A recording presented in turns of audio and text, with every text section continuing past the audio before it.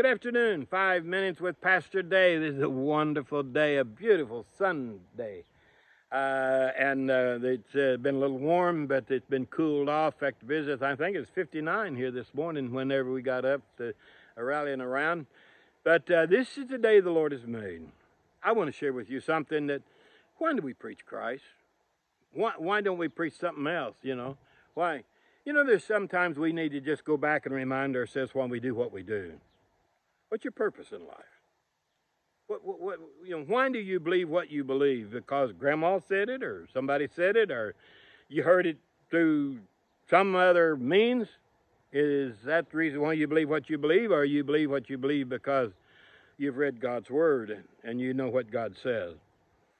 See, I believe that God's Word is the absolute truth. He said, I am the way, the truth, and the life. And so, as we were looking at that and, and why we preach Christ, sometimes we just need to remind ourselves why do we do what we do. Why do you believe what you believe? Why do you believe that Christ is the way? Why do you want to follow His Word? Why don't you just want to live any ungodly way that you possibly want to? There's pleasure in sin. Just go enjoy yourself and then just, just fill up on sin and everything because you know that there is a judgment day coming. One of the days you and I are going to stand before God. I'm going to stand before Him, and you're going to stand before Him. The psalmist in Psalms 40, he kind of explains this, and, and, and it's kind of the whole area of salvation. He says uh, in Psalms 40, verses 1, he said, I waited patiently upon the Lord, and he heard, inclined his ear unto me, and heard my cry. The psalmist realized that he was in a mess. He couldn't get out by his own strength. You can't either.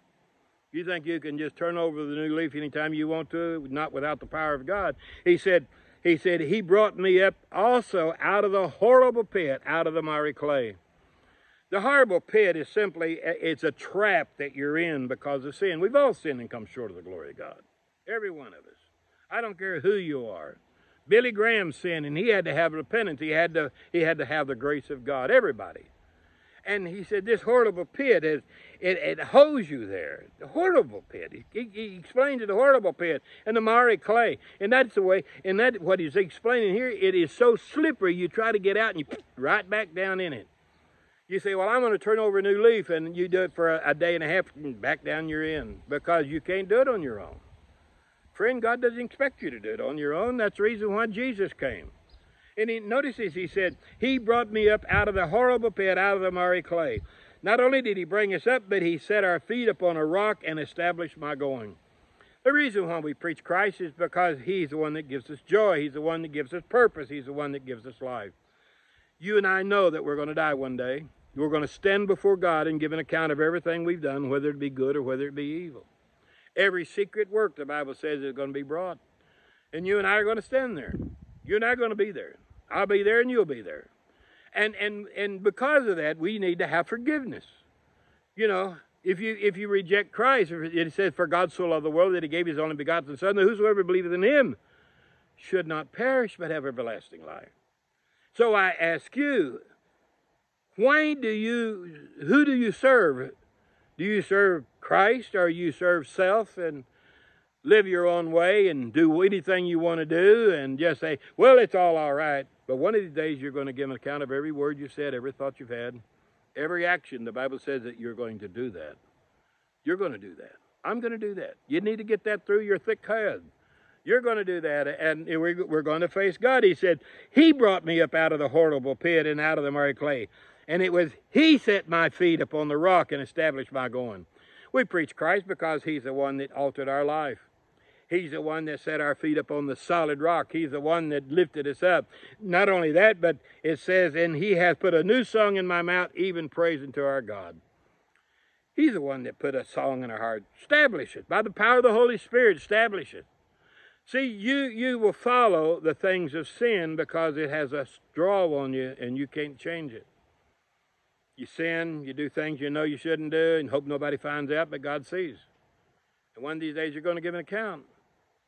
One of these days you're going to face God face to face. I'm going to face him face to face. I say, I know I've said that two or three times, but but the reason why we preach Christ is because he is the way, the truth, and the life. He can give you a song in your heart. He can give you a purpose in life. He can give you a new beginning. And he says here, he says, and he has established a, a new, put a new song in my heart, my mouth, and even praise unto our God. You know, Paul was one that thought he was doing right, and when God struck him on the way to Damascus and said, Why are you killing me, Paul? Why are you killing Christians? Why are you doing that? And that's the reason why Paul had such a change that he knew that the, the power of God that set him free. That's the reason why he said, I'm not ashamed of the gospel, for it's the power of God unto salvation. When he was standing before King Agrippa and he gave an account, he said, O king, he said, the, the power of God struck me and he opened my eyes to see. Paul realized that man was destined for eternal destruction. And because of that, Paul said, He sent me to open their eyes and and and to to raise the, open my eyes. He said there was five five things that he said that God has said to open their eyes, to turn them from darkness to light, from the power of Satan unto God, to receive forgiveness of sin, and an inheritance. You see, God wants to bless you. God wants to help you.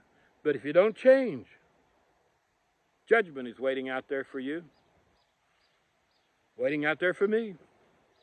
But he said, Paul said, I, for this reason I come, I want to open your eyes to see God is good. He wants to give you the best. The devil wants to destroy you. He said to turn them from darkness to light. You walk in darkness if you're walking in your own. You stumble, the Bible says, you don't even know what you stumble at. You, your life's messed up in drugs and sex and anything else out there. Your life is messed up in the power of Satan and to God to receive forgiveness of sin. Paul said, I'm not ashamed of the gospel. It's the power of God to deliver you. That's the reason why the psalmist has said, He has lifted me up out of that pit that I couldn't get out of. Establish my going. Give me a song in my heart peace and a melody in my heart. Folks, God loves you and He cares about you. He is a way, the truth, and the life. And so that's the reason why we preach Jesus Christ. The answer to all men's problems is the love of God. Lord bless you, and we'll see you later.